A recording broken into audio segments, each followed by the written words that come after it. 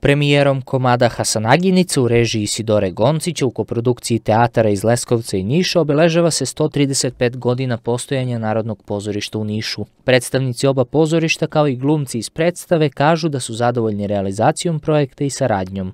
Drugačija je, e, čini mi se, od Hasanaginica koje smo imali priliku do sada da, e, da gledamo. To je jedna od najvećih ženskih uloga naše dramske literature ikada napisane. Ja Simovića obožavam, on je tako i poetičan, mislim ima tu puno slojeva i e, smatram da jedna zrela žena kakva ja jesam e, zaista može bude privilegovana ako bude u toj podeli dobije tako nešto da igra. Pre svega jedan vanredni ponos, jedna vanredna želja da se nastavi sa utabanom i dobrom pripremljenom osnovom kako je postojanje pozorišta u 135 godina.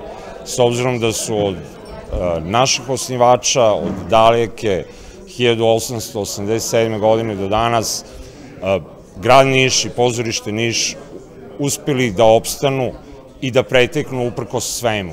Mislim da ćemo sve više biti okrenuti jedni drugima Naravno da mi svih ovih godina i ranije su postale koprodukcije, to nije ništa, mi nismo izmislili toplu vodu, no međutim mislim da će nam opredeljenje u nekom narodnom periodu biti upravo u tom pravcu, da se više udružujemo, da više razmenjujemo, čak i da idemo na troprodukcije i više produkcija, zato što su benefiti različiti i zaista ih ima dosta.